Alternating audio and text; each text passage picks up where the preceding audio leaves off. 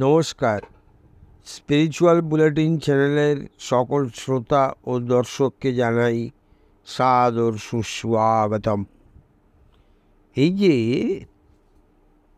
ঈশ্বরে বিশ্বাসী বহু লোককেই আমরা দেখেছি, যারা বাড়িতে কোনো সদস্যের অসুখ বিসুখ হলে তারা দেবদেবীর উদ্দেশ্যে মানত করে, মাদুলি পরে, তাবিজ পরে ফুল এনে জলে গুলে সেটা রোগীকে খাওয়ায়। এই যে ব্যাপারগুলো ঘটে, সত্যি কি এগুলোর কোনো আধ্যাত্মিক গুরুত্ব আছে? এ বিষয়ে আলোচনা করেছেন মা সারদা। মা সারদা অসাধারণ সব কথা বলেছেন।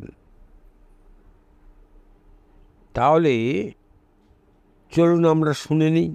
মা কি বলছেন এ ব্যাপারে?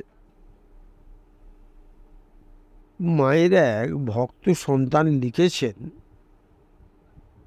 একদিন মা রাধুর অসুখের জন্য তাকে মাদুলি পরিয়ে দেবতার উদ্দেশ্যে পয়সা তুলে রাখছেন।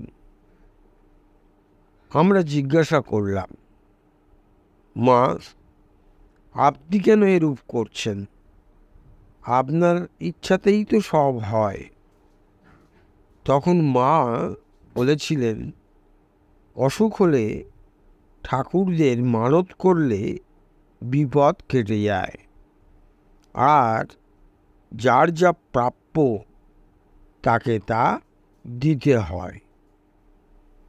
অর্থাৎ বাড়িতে যদি কোনো সদস্যের অসুখ হয় এবং এই বিপদে কেউ পড়ে যায়, তাহলে মা সারদা কিন্তু বলছেন, তার যে দেবদেবীকে ভালো লাগে বা তার বাড়িতে ঠাকুর ঘরে দেবদেবীর আসনে তিনি যাকে রোজ নিত্য সেবা করেন, সেই দেবদেবীর উদ্দেশ্যে বা জাগ্রত কোনো তীর্থে যে দেবদেবী আছে, সেই দেবদেবীর উদ্দেশ্যে মানত করতে হয়।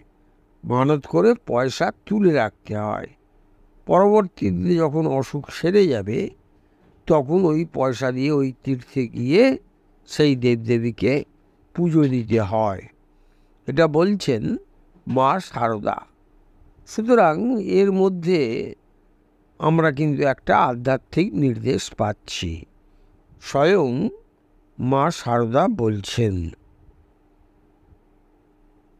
তাই বহু সুপ্রাচীন কাল থেকেই দেবদেবীর উদ্দেশ্যে মানত করে পয়সা তুলে রাখা এই প্রথা প্রচলিত আছে আমাদের হিন্দু সমাজে। আশা করি আজকের আলোচনা নিশ্চয়ই আপনাদের ভালো লেগেছে। আর ভালো লেগে থাকলে প্রতিদিন যেভাবে লাইক শেয়ার কমেন্টস করেন, সেরকম করবেন। আর যারা এখনও আমাদের এই চ্যানেলটি সাবস্ক্রাইব করেননি বা করে উঠতে পারেননি, তারা অবশ্যই আমাদের চ্যানেলটি সাবস্ক্রাইব করে আমাদের পাশে থাকবেন। তাহলে আজকের মতো বিদায় নিচ্ছি। আবার আগামীকাল কথা হবে। সকলে খুব ভালো থাকুন ও আনন্দে থাকুন। নমস্কার, ধন্যবাদ।